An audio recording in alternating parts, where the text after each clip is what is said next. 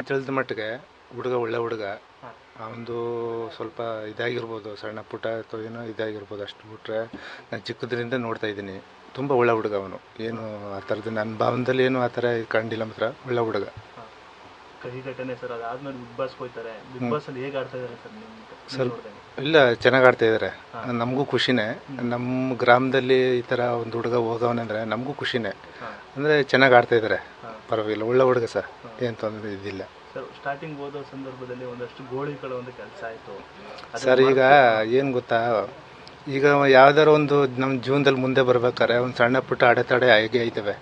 ಅವೆಲ್ಲ ತಲೆ ಕೆಡಿಸ್ಕೊಂಡು ಇದ್ದೇ ಇರ್ತವೆ. ಮಾತ್ರ ಒಳ್ಳೆ ಹುಡುಗ ಸರ್ ಏನು ತೊಂದರೆ ಇಲ್ಲ.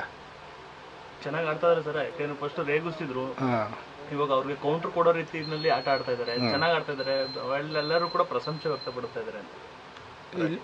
ಅದು ಇನ್ನೊಂದು ಸರ್ ಹುಡುಗ ಒಳ್ಳೆ ಹುಡುಗನೇ ಚೆನ್ನಾಗಿ ಆಡ್ತಾ ಇದ್ದಾರೆ ಬಟ್ ಏನಪ್ಪ ಅಂದರೆ ಸಣ್ಣ ಪುಟ್ಟ ಅಡೆತಡೆ ಆಗಿ ಆಯ್ತವ ಅವೆಲ್ಲ ಮಾಮೂಲಿ ಅವೆಲ್ಲ.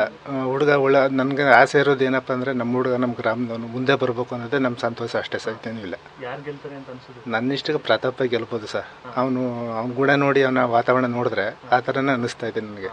ಹ್ಞೂ ಇಲ್ಲಿ ನೀವು ಕೂಡ ಹತ್ರದಿಂದ ನೋಡಿದೀವಿ ಅಂತ.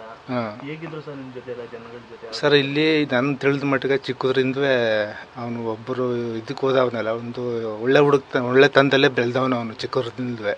ಒಳ್ಳೆ ಪರವಾಗಿಲ್ಲ ಇಂಪ್ರೂವ್ಮೆಂಟು ಕಾಣಿಸ್ತಾನೆ ಹುಡುಗ. ಸರ್ ಒಂದಷ್ಟು ಸ್ಟಾರ್ಟಿಂಗು ಅಂದ್ರೆ ಊರಿಗೆ ಒಂದು ರೀತಿ ಕೆಟ್ಟ ಹೆಸರು ಹೋಯ್ತು ಆ ತರ ಮಾತುಗಳು ಬರ್ತಾ ಇತ್ತು. ಆದ್ರೆ ಇದೀಗ ಸರ್, ಕರ್ನಾಟಕ ಜನಗಳೇ ಒಂದ್ ರೀತಿ ಒಳ್ಳೆ ಹುಡುಗ ಆತರ ಆ ಒಂದು ಗುರುತಿಸ್ತಾ ಇದಾರೆ ಅಂತ. ಅದು ಇನ್ನೊಂದು ಸರ್ ಅದು ಏನು ಮಾಡೋಕ್ಕಲ್ಲ ಒಂದು ಯಾವ್ದಾದ್ರು ಒಂದು ಕೆಲಸ ಮಾಡ್ಬೇಕಾದ್ರೂ ಒಂದು ಸಣ್ಣ ಪುಟ್ಟ ತೊಂದರೆಗಳು ಬಂದೇ ಬರ್ತವೆ. ಅವೆಲ್ಲ ನನ್ನ ಕಣ್ಣು ಮಟ್ಟಿಗೆ ಹುಡುಗ ಒಳ್ಳೆ ಹುಡುಗನೇ. ಇಂಪ್ರೂವ್ಮೆಂಟು ಆಗಲಿ ಅಂತ ನಮ್ಮ ಆಸೆ ಅಷ್ಟೇ ಸರ್ ಇನ್ನೇನು ಇಲ್ಲ ಗೆಲ್ತಾರೆ. ಗೆಲ್ತ ಗೆಲ್ತಾರೆ ಸರ್ ಅವ್ರು. ಏನು ತೊಂದರೆ ಇಲ್ಲ. ನಿಮ್ಮ ಹೆಸರು ಸರ್? ಶಿವಶಂಕರ್.